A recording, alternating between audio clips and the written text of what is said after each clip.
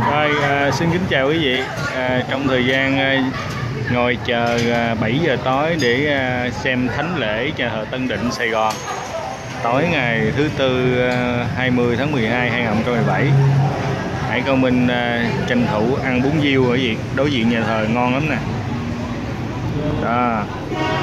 Ăn bún riêu thì phải à, có mắm vuốt cái gì ha.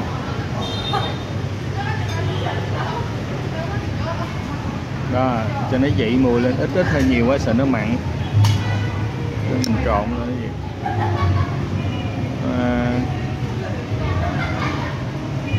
mắm vuốt à, tùy người ăn được người ăn không được thì đừng có bỏ vậy vậy và tiếp theo đó là bỏ à, rau muống à, bào. Với bắp chuối. Bắp chuối ăn là nó cầm lại vậy. nó có chất chát á đó, rồi à, rau quế nè. À, rồi à, hãy à, thích ăn ớt. À, cây cây nó ngon cái gì? Bữa nay Sài Gòn lạnh 20 độ C. Ớt cho nó ấm nè rồi mình à, dắt miếng chanh vô. Đó như đây là đủ buổi buổi chiều tối rồi cái gì?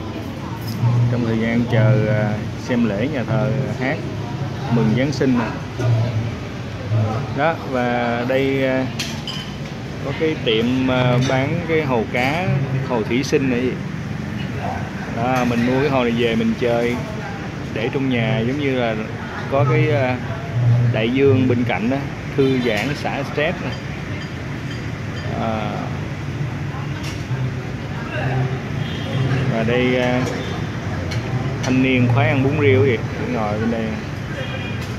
Vừa ăn vừa tán ngẫu. Đó rồi cái ờ, xe vợ chồng bán bún riêu ở đằng kia. À thấy không? Và đầu bên kia đó là mừng cưới giáng sinh nhà thờ Tân Định đó. Đó chút nữa 7 giờ là bắt đầu ờ, thánh lễ à, thánh ca.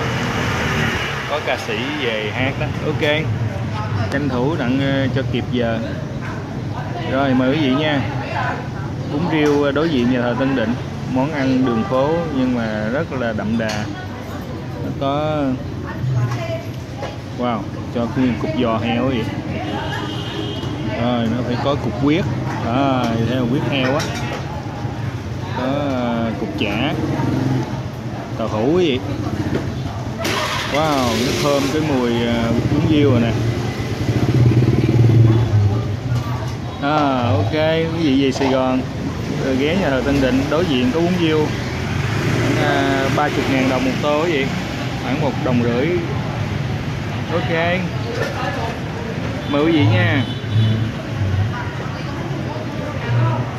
Giáng sinh vui vẻ gì ha. Thank you. Goodbye.